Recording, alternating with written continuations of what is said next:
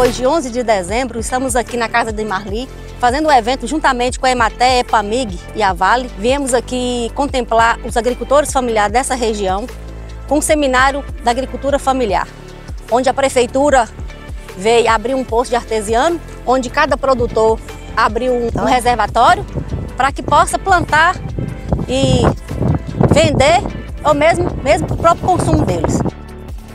Aqui são 25 famílias. Né? Uns têm posto, mas como o posto é da comunidade, então são para todos. É muito bom assim para nossa comunidade aqui, né? Porque foi uma coisa que veio com, é, com grande valor.